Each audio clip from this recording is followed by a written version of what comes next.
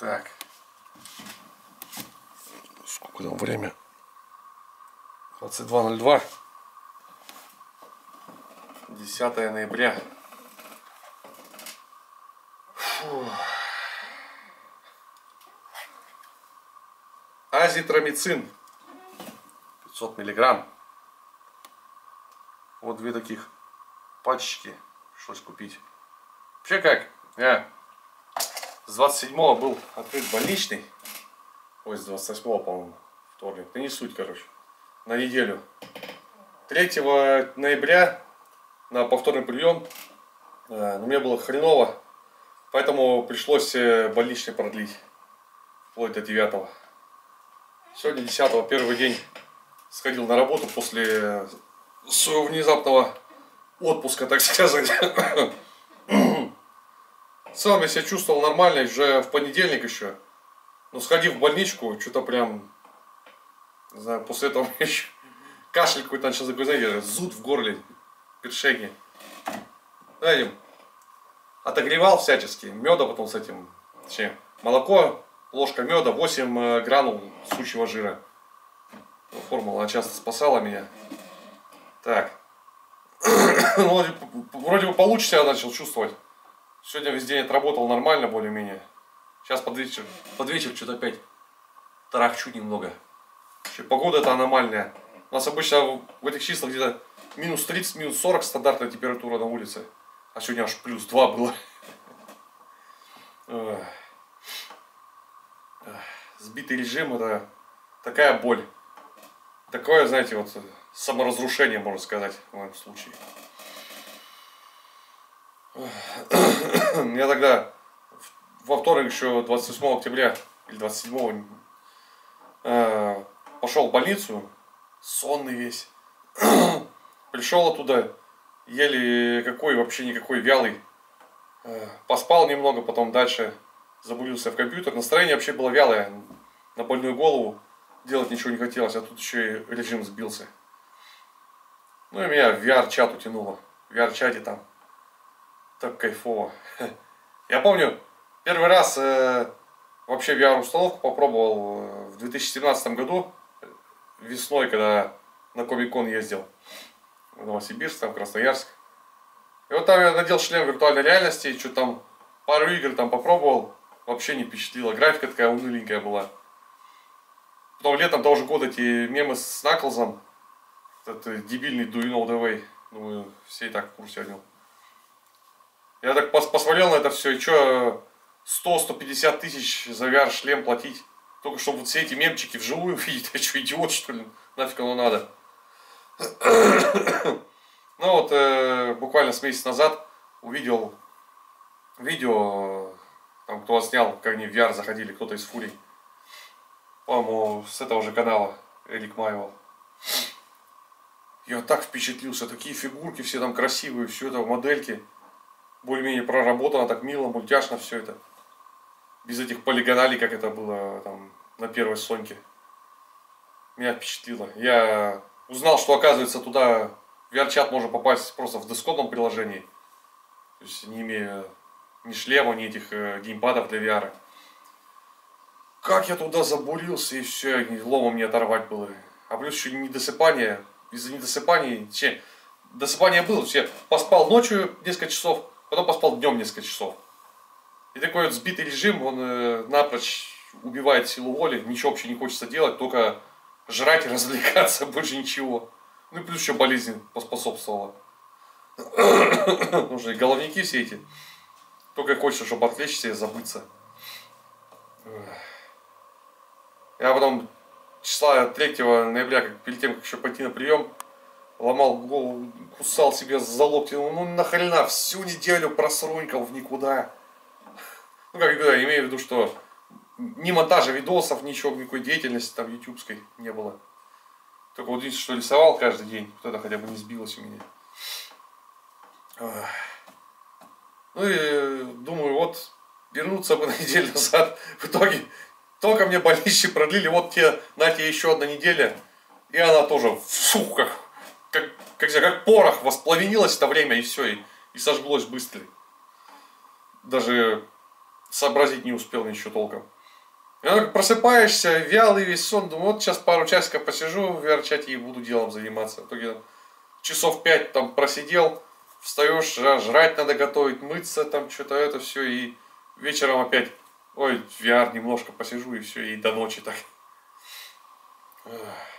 В общем, когда я сбиваю режим, я становлюсь чем-то вроде такой чайный гриб такой, безвольный весь, ни хрена не делающий, просто плавающий на, по течению.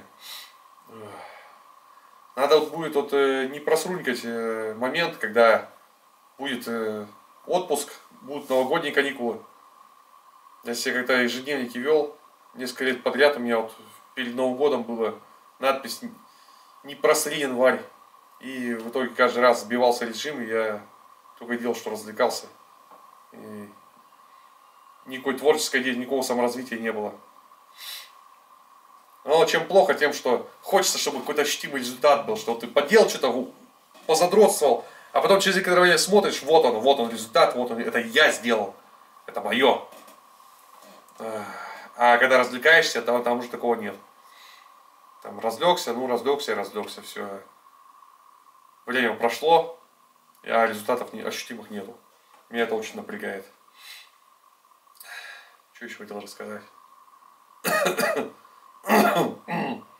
Про метод лечения, ну, не знаю, я снял сегодня еще дополнительное видео, но что-то как-то, сейчас уже 10 часов вечера, пока оно все смонтируется, пока зальется, не, наверное, уже завтра залью. Так, вроде бы все рассказал особо рассказывать больше нечего. Единственное, что супрадин пил. Это витаминки такие шипучие. Брат посоветовал два, две таблетки супрадина разовой дозы, а потом по одной в день.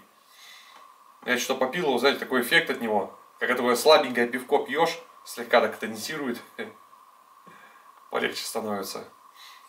Хорошая штука. Надо будет там еще купить мне скоро больничные выплатят. Закуплюсь таблеточками. Так. В принципе, вроде все рассказал. Ничего особо нового нету. А, разве что сейчас перейду на экономный режим питания, вернее, уже перешел. И готовлю себе гречку. В нее кусочки куриного филе запеченного филе в рукаве запекать, чтобы оно сочным было. Кстати, лайфхак. Куриное мясо, особенно филе куриное, лучше всего запекать не с куриной приправой, а с приправой для свинины. Вот сочные э, ребрышки барбекю, как-то она так называется приправа. Вот я с ней запекаю куриное филе вообще прям, прям ну, мякотка получается. Вкуснятина. Так, ну и сверху еще недавно добавил себе сырой лук. Да, вот половину, вот небольшую головку лука, половину ее нарезаю мелко посыпаю на гречку с мясом сверху и немного кетчупа. И оно прям, что, прям вообще аппетитно заходит. И стоит, кстати, дешево. Там что, почти килограмм лука 37 рублей обошелся. Килограмм 100 гречки, это что, 142 рубля. Это если на неделю так питаться, это что, 200 рублей в неделю? Это 1000 рублей в месяц. Не, ну конечно там до 1000 не получится, нужно будет еще там э, сортирная бумага, там мыло, там что-нибудь, антиперспирант, что-нибудь такое вот. Это тоже затраты.